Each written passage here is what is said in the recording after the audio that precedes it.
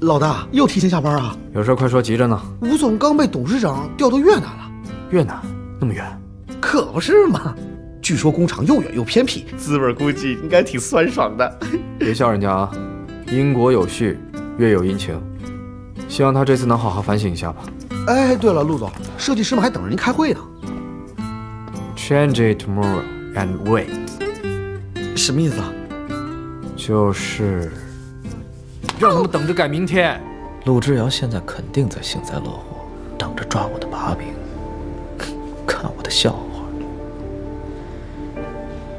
我是绝对不会给他这样的机会，我一定要让陆之遥知道，这样一个扣子是如何拿下陆氏集团的。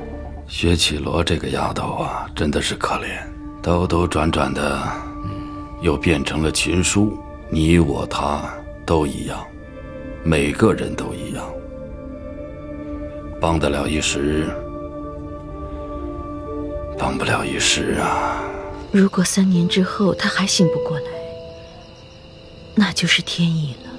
我们也会对你感恩戴德的。陆之遥，我叫你一声姐夫，是咱俩过去的情分。如今你有了新欢，我们白家也不会怪你，我们白家也不可能拿这个条件一直绑架你。